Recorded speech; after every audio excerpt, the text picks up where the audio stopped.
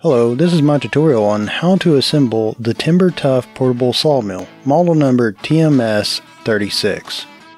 The instructions left much to be desired and the photos do not show the correct nuts, or at least not all of the ones that came with my kit. Photos show the kit having all hex nuts, but there were several lock nuts in my kit and where to put those really matters. So after successfully building it, I took it back apart, grabbed my camera, and then film me putting it back together again in hopes of helping others to put it together correctly the first time. To get started, lay the frame brackets out in this orientation.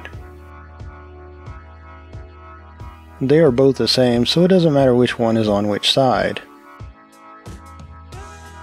I'm going to go ahead and attach the fasteners.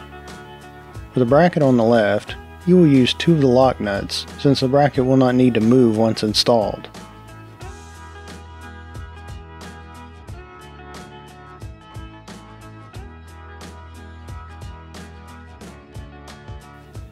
You should also have two of these wing nuts, which will go here on each frame bracket. Don't tighten it all the way because we will still need to slide the bar through the hole later.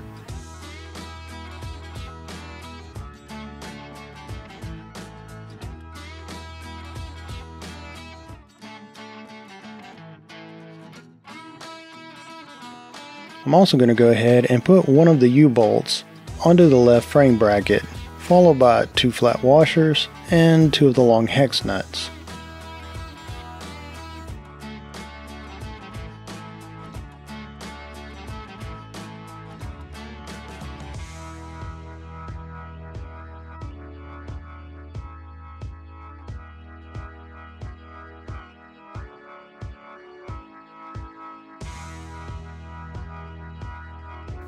Now we just need to do the same thing for the right bracket, except we will use two of the long hex nuts on it in place of the two lock nuts.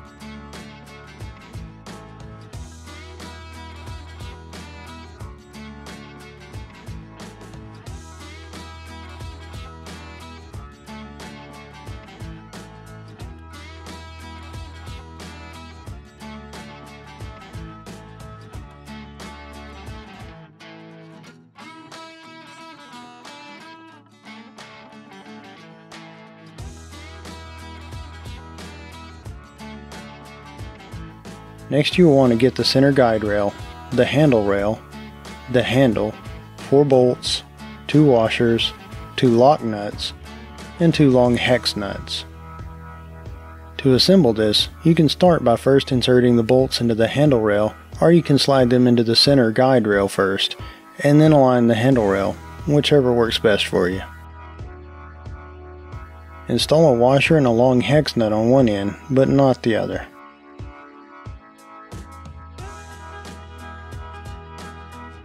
Now put the handle in place and secure it with one lock nut. The handle doesn't get any washers. Insert the other bolt and then attach one of the long hex nuts onto it.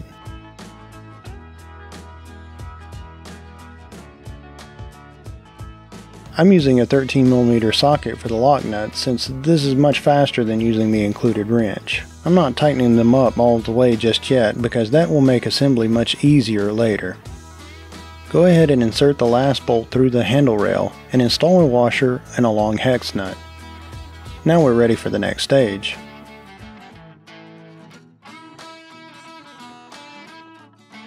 Lay the two long rails out and then slide the right frame, the one with the two long hex nuts on it, onto the long rails.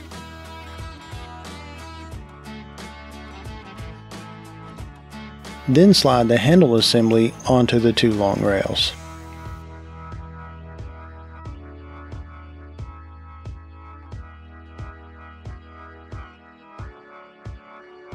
If you're going to install the plexiglass shield, you need to insert two of the bolts into each of the long rails at this point. I'm not using the shield, so I'll leave those off. Now go ahead and attach the left frame bracket that has the two lock nuts on it. This will be attached flush with the end of the long rails. You can go ahead and tighten the nuts on this bracket, just make sure that it's square with the long rails so that the other pieces don't get in a bind.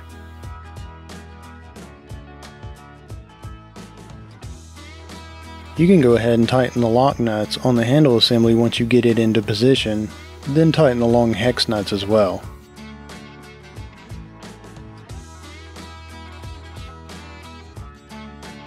Insert the push bar, the round metal tube, through the hole on the frame brackets until it's pretty close to flush with the left frame bracket. Then tighten the wing nut on the left frame bracket.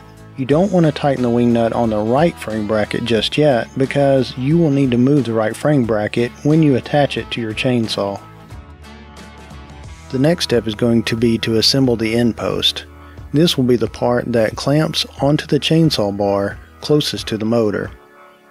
You will need the end post, the bottom bracket, and two of the long bolts.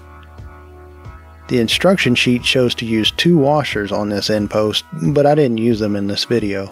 And as before, you don't want to tighten them all the way, because we still have to install it onto the chainsaw bar. For the chain guard end post, you will need to install the chain guard and the chain guard bottom bracket.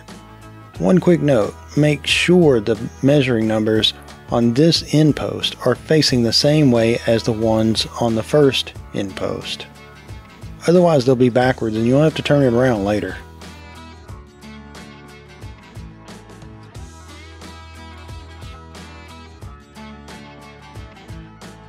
Remember to leave the long bolts loose, like on the first one. Go ahead and insert the other U-bolt adapter clamp, or both of them if you haven't already. Slide the end post without the chain guard on it through the left frame bracket, and then finger tighten the long hex nuts.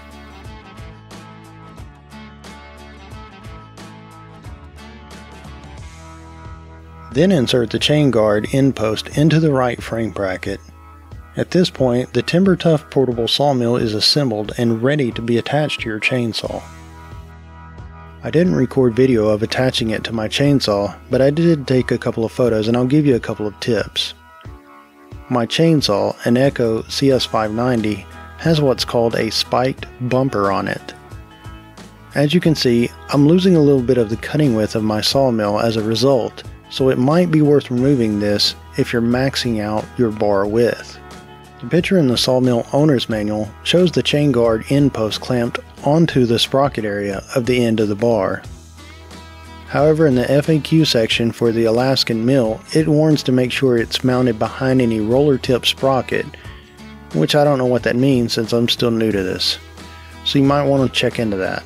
Be sure the sawmill clamps the center of your bar and that the chain does not touch any part of the mill.